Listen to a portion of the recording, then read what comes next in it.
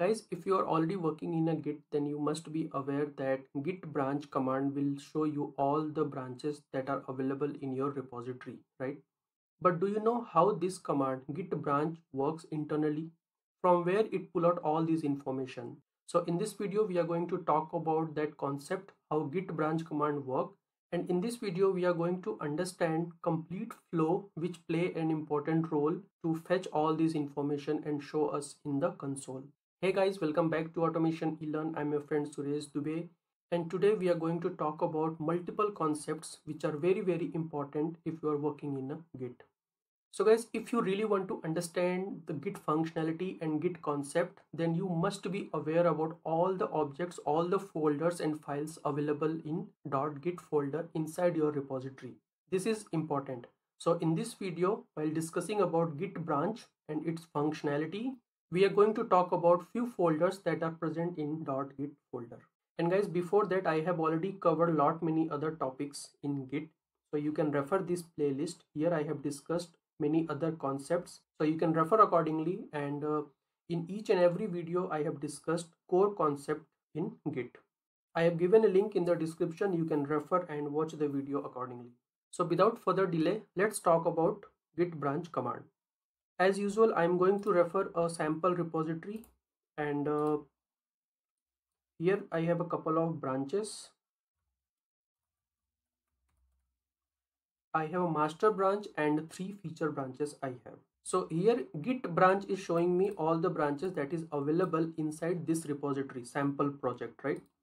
And uh, same thing we can do with git branch hyphen a as well hyphen a is nothing but all. It will show you all the local branches and all the remote tracking branches as well. So here we have a couple of branches that we are seeing in the console. But from where this information is getting pulled?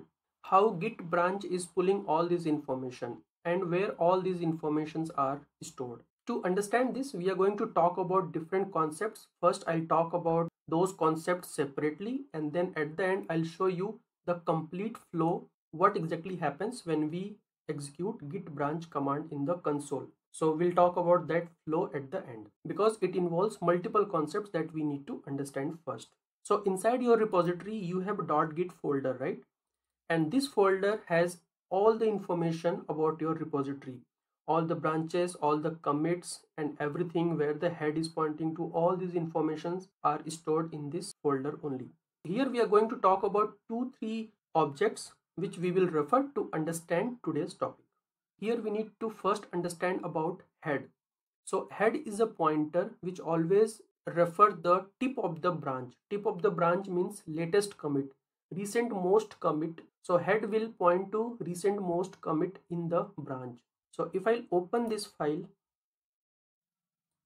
so this information head is containing right now. It is referring to ref heads and master this is a path. This is referring to some location inside your .git folder only. So we have ref heads and master.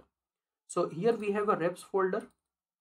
Inside that we have heads heads and then it is pointing to master. We have other branches as well over here right? Why it is pointing to master only?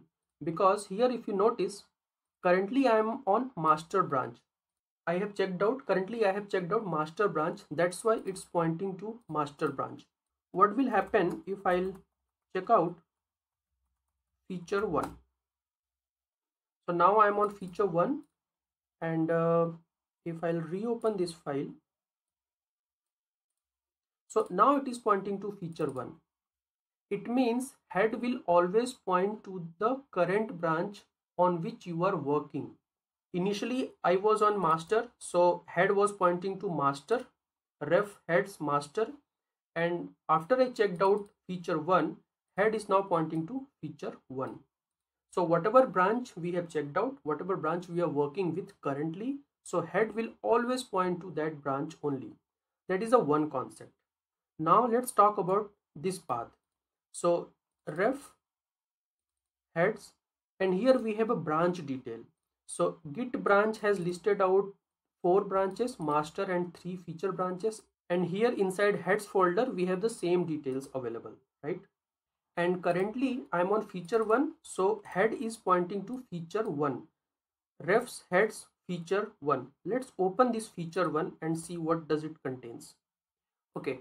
So looking at the detail it seems this is a commit id okay. Let's verify this i'm on feature 1 and if i'll do git log then here we have a couple of commit and the latest commit is starting with double four double c.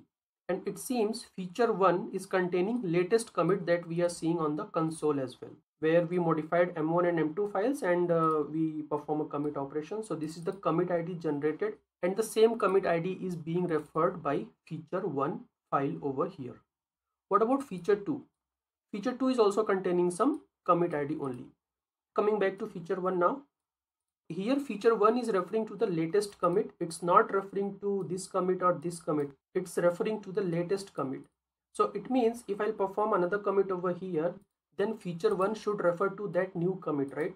Let's try and verify this. So we are going to modify something one of the file and just update the details. This is new line something like this and write and quit. So I'll have m1 modified and uh, I can add it. I can give a message updated m1 file. And uh, checking at log now I have a new commit ID generated. Earlier double four double C was the latest. That's why feature 1 was containing this. Now I have a new commit ID which is starting with FAB so let's refresh this file and see what does it contains so yes, it is now containing the latest commit that we have performed just now, FABE. It's no more referring to double four double C. It means branch will always refer to the latest commit only. If you have referred my previous video, in one of the video I have discussed how each commit is connected with its previous commit. This commit is connected with this one and uh, double four double C is connected with this one. So this is how it form a chain of commit. I have given a link of that video in the description. You can refer and you can understand the commits chaining process. Git branch will always refer to the latest commit and latest commit will refer to its previous commits and this is how it form a chain. So git branch don't need to contains all these commits, right? It only need to know the latest commit and this is what it's containing here, right? So as of now, we understood two things. First, we are starting with head and head is pointing to this location and it will always refer to the branch which we have checked out currently. If I'll go to this location feature 1 then feature 1 is referring to the latest commit. It will always refer to the latest commit that we just saw. Initially it was pointing to this one but after we made a new commit it is pointing to this commit now. So this is the flow. This is the flow that I was talking about. Let's see one more example. I will check out master or any other branch as well. And uh, if I'll see head head is pointing to master now because we have checked out master branch. And uh, let's go to that location refs heads master. And let me open master file so here it's containing commit id starting with c992 and uh, if I'll check a log for master so here we should have the same commit ID available. Yes C992 is the latest commit which is being referred by master branch master file over here.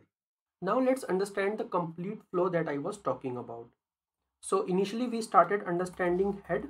Head is the file under dot .git this is the file that I was talking about head all in caps. And it is referring to some file over here. Refs heads and branch name. Right? So inside refs there is a heads folder and there we have a branch file. So head is referring to this location now. Here refs heads and the branch which we have checked out currently. And if I'll go here if I'll open branch name so currently I have checked out master over here. And uh, as I explained if I'll open master it's containing some commit ID and we understood it's containing latest commit right? So from here branch file will contain latest commit. Always it will point to latest commit only.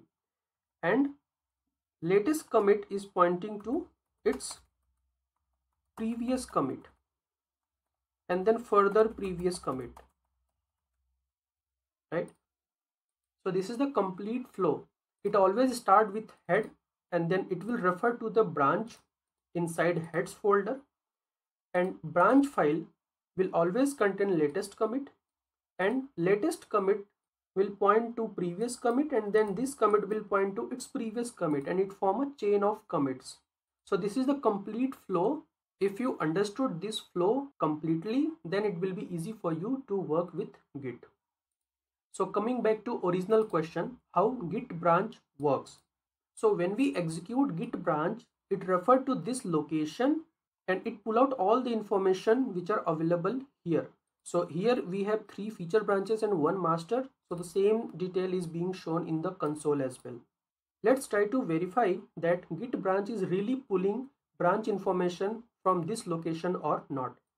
So what i'm going to do is i will copy one of the feature branch one of the file and uh, i'll rename it to feature 4 and i'll go to console and execute git branch now we have four feature branches and one master.